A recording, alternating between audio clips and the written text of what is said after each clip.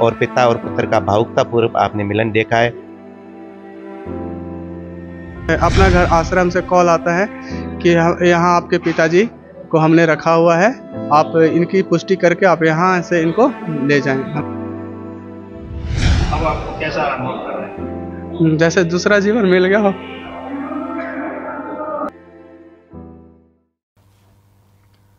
धर्म नगरी वृंदावन की धार्मिक यात्रा अंतर्गत ठाकुर बाके बिहारी मंदिर में दर्शन करने के दौरान 16 दिन पूर्व बिछड़े पिता को अपना घर आश्रम में पाकर पुत्र भावुक हो गया और उसकी आँखों से खुशी के आँसू छलक उठे।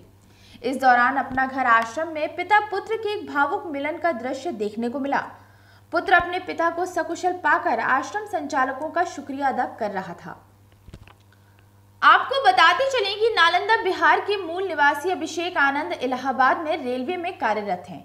वे एक फरवरी को अपने माता पिता को मथुरा वृंदावन की धार्मिक यात्रा पर लेकर आए थे। तीन फरवरी को उन्हें ठाकुर बाकी बिहारी मंदिर में दर्शन कराने लेकर गए थे।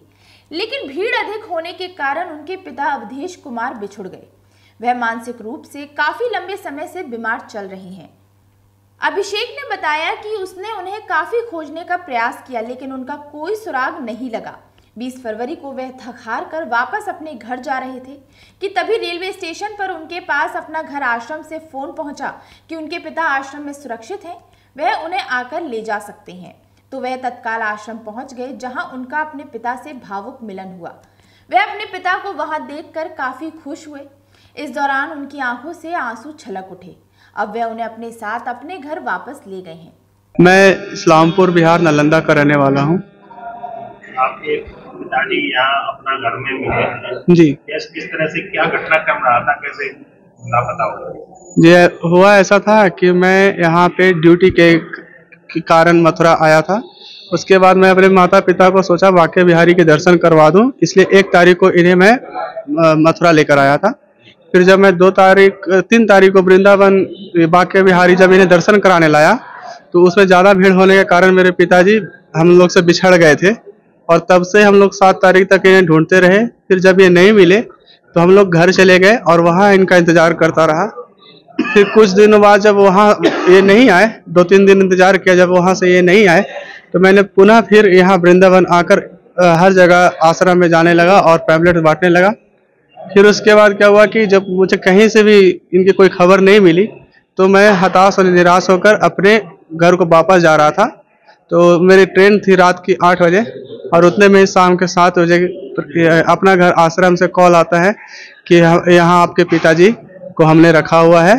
आप इनकी पुष्टि करके आप यहाँ से इनको ले जाएँ। हमने बढ़िया अच्छे से रखा हुआ है। फिर उसी समय मैं यहाँ आया तो इन्हें फिर पाया मैंने। अब आपको कैसा अनुभव कर रहे हैं? जैसे दूसरा जीवन मिल गया हो। अलग नाम बताया था।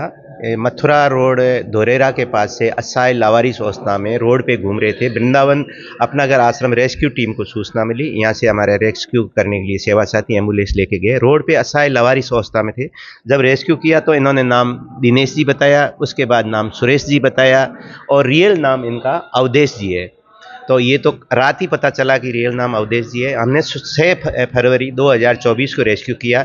सेवा में उपचार के बाद में हम लोग प्रयास करते रहे बार बार नाम बदलते रहे, लेकिन हमें इनका रियल घर का पता नहीं चल रहा था। और कल जैसे हमें एक पैम्पलेट मिला, हमारे अपना घर आश्रम का ऑल ओवर इंडिया का एक ग्रुप बना है उस पर इनका गुमशुदा का रिपोर्ट पैम्पलेट मिला। उसके आधार पे हमने भाई साहब से संपर्क किया तो इन्होंने बताया हमारे पिताजी है। आज अपना घर आश्रम में एक सौ प्रभु जी का पुनर्वास हो रहा है और पिता और पुत्र का भावुकतापूर्व आपने मिलन देखा है। हम बिहारी जी से प्रार्थना करते हैं, ऐसे कोई परिजन जो है बिछड़े हुए नहीं रहे और ये अपना घर जा रहे हैं। बहुत ही खुशी की बात है, अपना घर आश्रम की सेवा टीम ने सेवा करी। हमारे डॉक्टर रंजीत चौधरी जी है, सुना है कि ये मानसिक रोगी है। उनका ट्रीटमेंट चल रहा है। रंजीत चौधरी जी के माध्यम से दवाई चली है, तब भी इनका काफ़ी लाभ हुआ है और हम आप सबको धन्यवाद देते हैं मीडिया परिवारी को, अपना घर आश्रम को doctor B M Bharadwaj ji को, कि ऐसे प्रभु जी की निस्वार्थ भाव से सेवा करते हैं। इसके लिए हम